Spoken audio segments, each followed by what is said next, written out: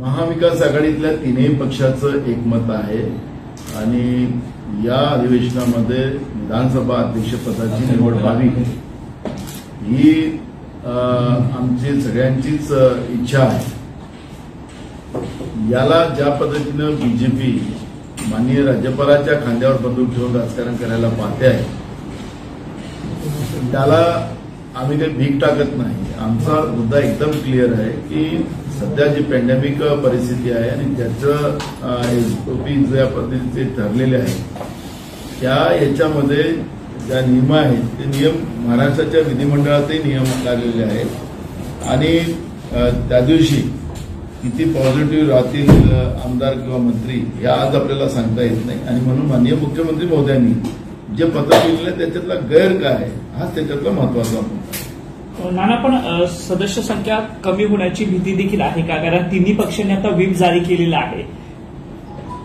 सोबतच तिन्ही पक्षांनी आपापल्या प्रमुख नेत्यांनी आपापल्या आमदारांना फोन करून त्यात उपस्थित राहण्यासाठी आग्रह केलाय. अशी वेळ नेमकी या तीनही पक्षांवर का आली? आमदारांवर तीनही पक्षांचा विश्वास नाही का? विश्वास आहे. ही अ, संविधानिक जी आमची जे राज परंपरा असते त्याच्यातला एक भाग आहे. कारण की या अधिवेशनामध्ये काही पुरवण्या मागण्या येणार आहेत. आणि या पुरवण्या मागण्यामध्ये मतदान होतं. आणि पुरवणी मागण्यामध्ये मतदान जेव्हा होतं त्यावेळेस आमदारांनी उपस्थित राहावं ही बंधनकारक व्यवस्था त्याच्यामध्ये असते. आणि म्हणून व्हीप त्याच्यामध्ये जारी आपण करतो. थ्री लाईन व्हीप जारी केला. तर त्याला हे सगळेच पक्ष करतात. काही याच महाविकास आघाडीने केलं असं नाही.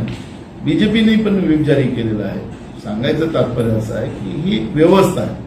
आणि त्याच्यामुळे आमदारावर विश्वास नाही असं कोणाला म्हणता येत नाही. ही एक व्यवस्था आहे आणि सगळे पक्ष या व्हीपचा वापर करतात आणि हा काही गैर आहे असं आम्ही कोणी मान्य करतो कृषी कायदा राज्य सरकार आणण्याच्या तयारीत होते. मात्र ज्या काही संघटना शेतकरी संघटना यांनी सूचना केल्या. त्यामुळे या सूचनांचा विचार करूनच कृषी कायदा मांडला जावा अशी भूमिका देखील राज्य सरकारची आहे असं म्हटलं जात आहे.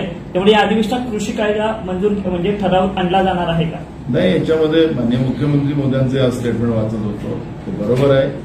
कारण की हा शेतकऱ्यांसाठी फुटप्रूफ कायदा व्हावा शेतकऱ्यांच्या हिताचा कायदा व्हावा ही भूमिका महाविकास आघाडी सरकारची आहे. काँग्रेसनी पण ही भूमिका सरकारच्या समोर मांडलेली आहे. आणि म्हणून आम्ही स्वतः मागणी करणार आहोत की कायदा शेतकऱ्यांसाठी. कारण की तीन काय कायद्याचा तर विरोध आम्ही महाविकास आघाडीमध्ये सगळ्यांनीच केलेला आहे. आणि त्याच्यामुळे तीनही केंद्रातले काळे कायदे महाराष्ट्रात लागू होणार नाही पण जो कायदा जो राज्याला अधिकार आहे शेतकऱ्यांच्या हिताचा कायदा करायचा तो कायदा फुलप्रूफ व्हावा. आणि म्हणून हा कायदा करायच्या पहिले त्याला पब्लिक डोमेनमध्ये टाका.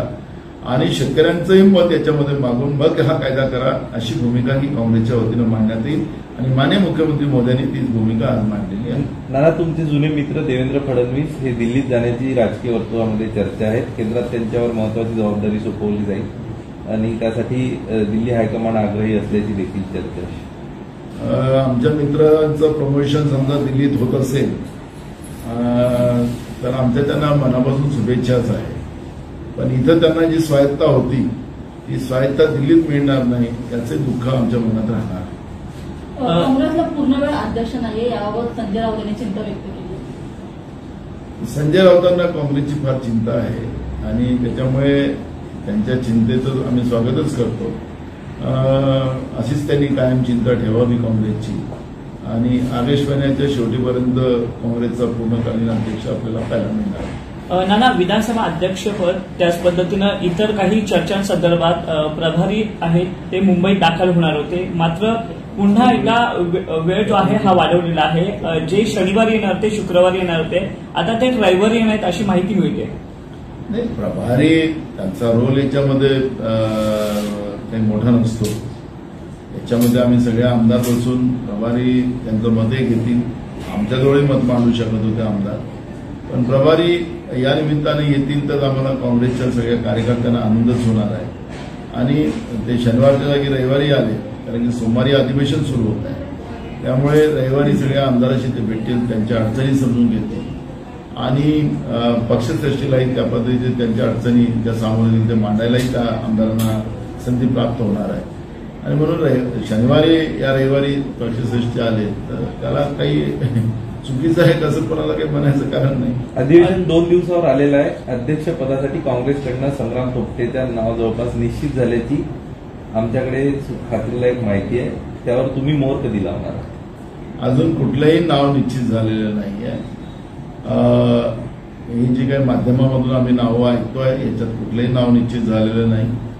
आमचं सगळ्या आमदारांचं मत जाणून घेऊन या पद्धतीचं आमचा उमेदवार फायनल होणार आहे.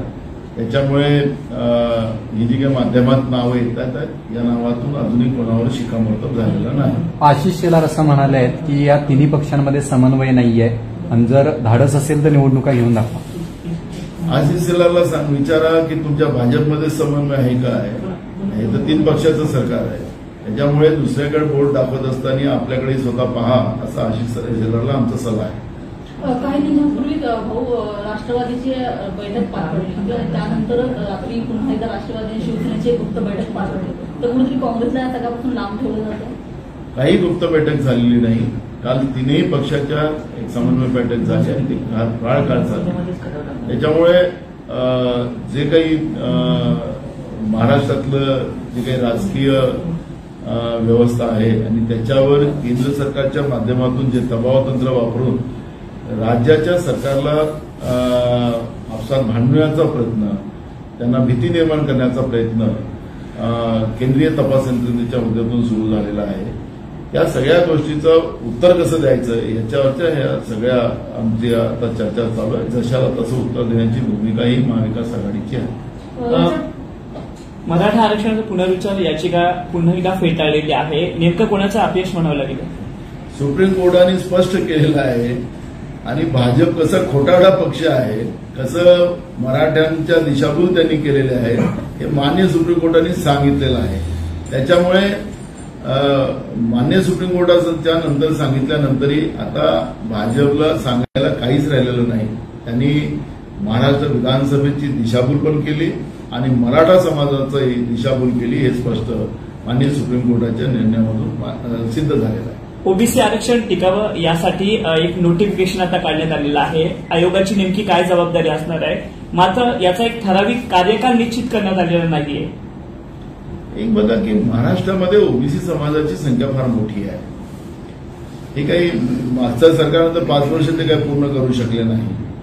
आणि मान्य क- कोर्टाचा जो आदेश आहे सुप्रीम कोर्टाचा की तीन महिन्यात हे करावं हे पॉसिबल नाही आहे याला आर्थिक सामाजिक या समाजाची सगळी पाहणी करून त्या पद्धतीचा एक रिपोर्ट माननीय आयोगाला द्यायचा आहे. आणि म्हणून त्याला कालावधीही निश्चित होऊ शकत नाही. आणि कालावधीचं आपण पाहिलं तर गायकवाड आयोगाची काय परिस्थिती झाली आणि सुप्रीम कोर्टाने कसं फटकारलं हेही आपल्याला सगळ्यांना माहिती आहे. आणि म्हणून या याला या आयोगाला कालावधी आपल्याला देण्या देण्यापेक्षा या या ओबीसी समाजाची नेमकी संख्या किती आहे?